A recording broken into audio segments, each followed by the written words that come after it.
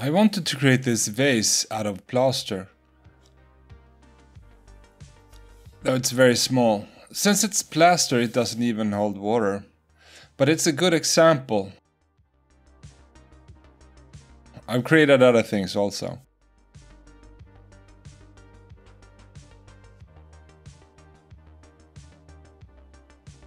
I could have made it out of plastic, but I much prefer plaster for my creations. Plaster just has a nicer feel of weight to it.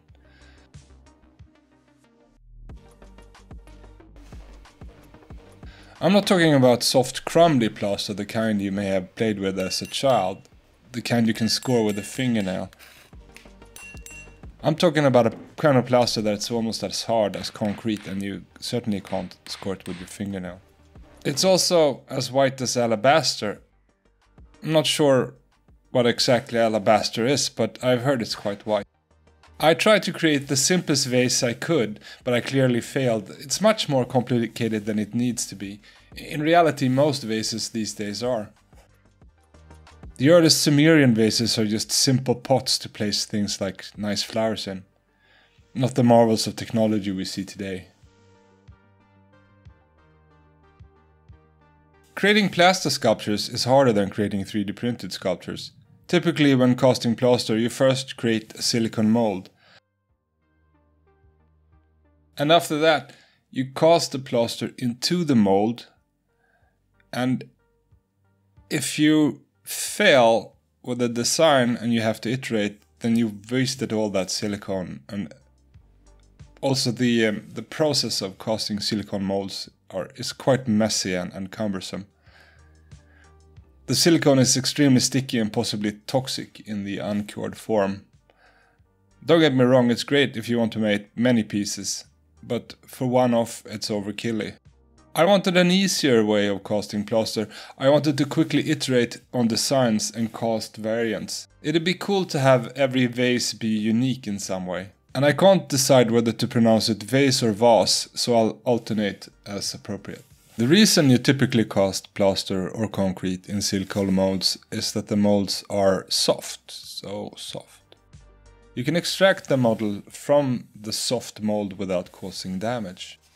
3D printed molds are hard, well, hard-ish, especially compared to delicate plaster pieces.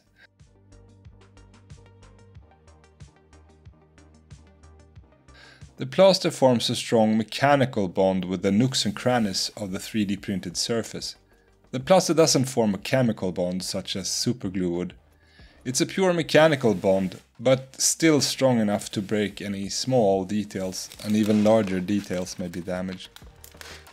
It's very difficult to extract the model from a 3D printed mold, unless the 3D printed mold can be made soft. Softening PLA, the material 3D printed molds are made from, is easier than expected. You simply boil it in regular tap water. More on that later. Mold design typically requires that there are no overhangs and that there are proper draft angles. Overhangs are when two pieces lock together like hooks, making them impossible to separate. When either the mold or the sculpture is soft, overhangs are less of an issue. Imagine that this orange part is the mold and this white is the cast part. In this case, there is an overhang and the pieces can't be separated. In this case, there are no overhangs and they can be pulled apart even though it may require some effort. Small defects in the surface may still create enough friction to stick them together. In this case, we even have a proper draft angle where they easily come apart. Some materials require draft angles, and you can see the draft angles in for instance injection molded plastic parts. To work around overhangs you can create multiple molds. The simplest form is called a two-part mold.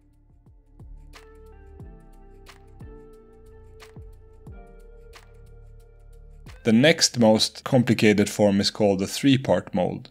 This here is a one-part mold, an even simpler form this one has failed because the draft angles weren't sufficient and the piece got stuck in the... With multi-part molds, each mold must typically avoid overhangs, at least locally, but together they can have overhangs. As long as each mold can be removed without uh, damaging the piece, it's all good.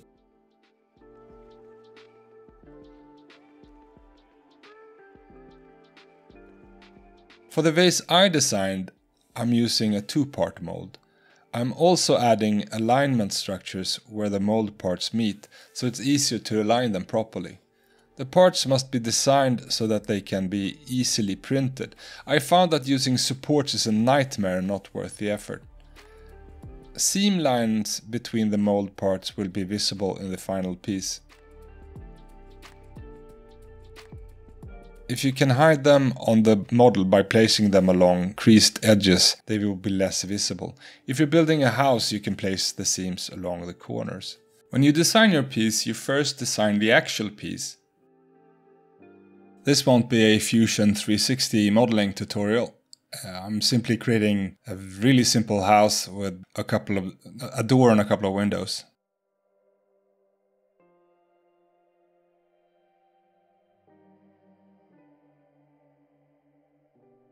Then you create a mold and subtract the piece from the mold. You will have to plan for where you're supposed to pour in the plaster. Typically on a sculpture you pour the plaster through the base of the sculpture, the part that sits against the floor. But for things like boats it's not as obvious where to pour in the plaster. The pour location must be at the top of the mold when you're pouring, otherwise you'll be stuck with air inside the mold. You must also plan for how to extract the piece from the mold.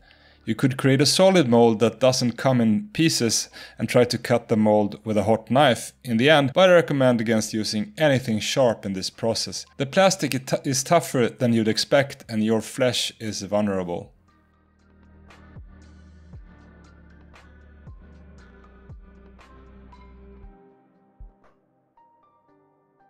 It will also behoove you to create some alignment structures. Here I'm creating a piece that will stick out 45 degrees so it's easy to print and then I am subtracting that shape from the opposite side of the mold. Then I inset the faces slightly so they don't collide and this will help me hold the pieces together while I'm performing the casting. And when I say that I inset it slightly I mean a tenth of a millimeter or even half of that. When printing the molds you must change some settings. With default settings, it's difficult to demold. Default settings are designed to give you stiff and strong parts. Well, that's the opposite of what we want. I've created a 3D print setting in Prusa Slicer I called Melty. I use 3 top layers, 3 bottom layers and 0 for minimum shell thickness. I use a fill density of 16% and I use a fill pattern called Lightning where it only adds infill where it's required to support the layers above. If you try this yourself, let me know in the comments down below what settings worked for you. I've tried other filaments like PVA Plus and FlexFill, but both failed badly. In the box in the background I have a few spools of PCL filament, which is supposed to melt at 60 degrees Celsius or 140 degrees Fahrenheit, which could make things even simpler. I haven't had the chance to try it yet though, so uh, stay tuned for that. To cast the piece, the molds are aligned and the seams are taped up with masking tape.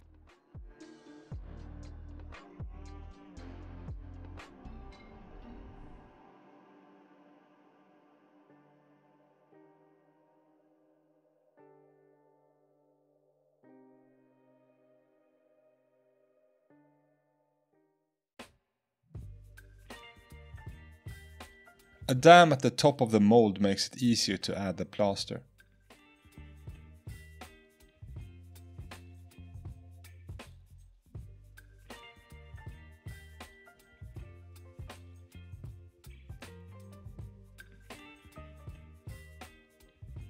Rubber bands keep the seams tight. If the seams are sloppy there will be more flashing. But you don't want to compress the mold so hard that it warps. As you can see, I think I broke four rubber bands before giving up. The tape-up job wasn't very good and the missing rubber bands together had some sad effects, as you'll see shortly. I use Fusion 360 to determine the volume of the model. But Always prepare more plaster than you think you'll need. Wasted plaster is cheaper than a wasted model. The plaster I use is called Ceramics Exclusive and has a working time of 6 minutes, which sounds like a lot but sometimes isn't enough.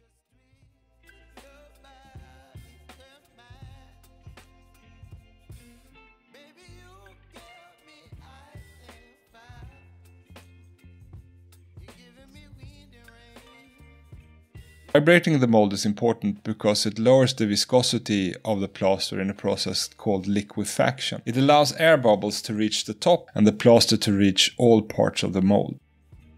Here the effects of the poor taping job are becoming obvious. I'm having serious leaks. This very rarely happens and it isn't a really big problem in this case because I can just scoop it up and keep going. But if you're short on plaster this can be a real disaster. After the working time has passed, I let the model rest for about 3 or 4 minutes.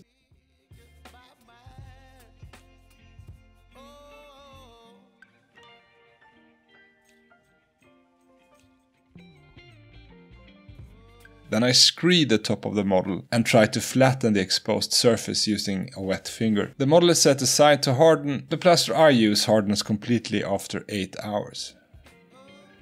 Now it's time for demolding.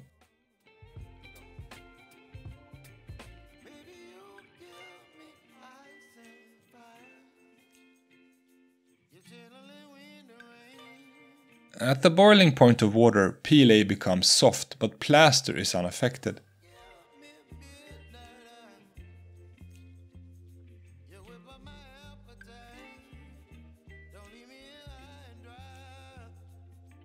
Boil the molded model until the PLA becomes soft and then gently pull on the mold pieces with pliers. I use a thick glove and meat tongs for protection. Note that these molds are one time use.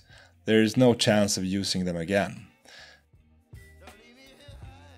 Sometimes you need to dunk the pieces several times in the boiling water but if, if you designed it correctly, all pieces should come off without damage to the model. If it seems impossible to remove a mold piece without breaking the piece, you may have to modify the design.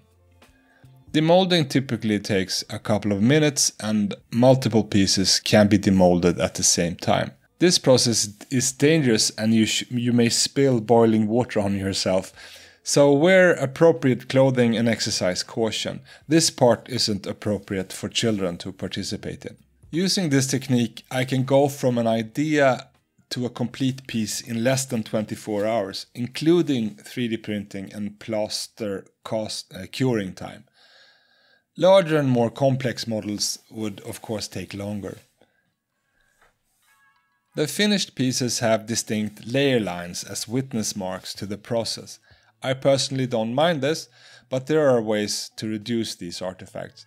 There are however print orientations where the layer lines become ugly and distraction and distracting, so you may have to consider that as you orient your prints on the printer bed. More complex structures can be made, for instance I've created sculptures of houses, heads and boats. Some of these sculptures are hollow, which allow you to place lights inside them. This can be done using what's called a core but more on that in future videos. I'm happy with how this vase come out, though it's less intricate and ornamental than my typical sculptures.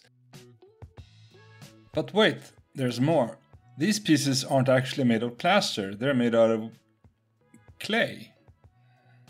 They're actually slip cast in molds that I cast using 3D printed molds.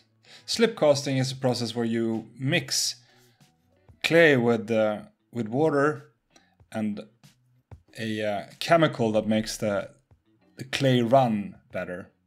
And then you fill a plaster container with the slip. Uh, it's called slip. And then you let it sit in the in the mold for a while, so the mold absorbs the moisture from the wet clay, and it deposits a uh, thin clay vessel inside, and this is how many vases are made. Probably vases that you own, uh, mugs and, and, and things like that. You let it sit for a couple of minutes and it absorbs the water.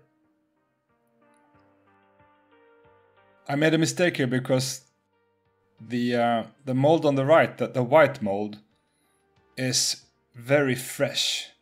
I uh, I boiled it earlier today, so it's still wet and it doesn't absorb the water from the clay as well as the one on the left, which is very dry because it's been sitting around for a while.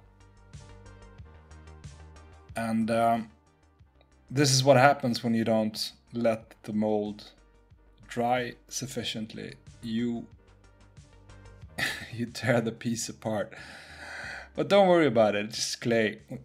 I can mix it. I can let it dry out and just mix another batch and, and put it back in. The second one, you get to see what it's supposed to look like.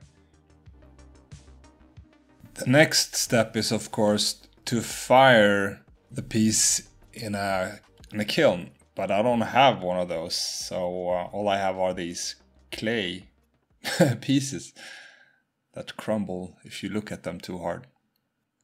I have uh, two more advanced vases that I haven't been able to cast yet. Uh, hoping to do that tomorrow, so maybe in the next video. Hope you found this interesting. I may create more detailed videos of how particular sculptures are made. Do leave a comment if you have any ideas or if you tried using boil molds for a project. Thanks for watching.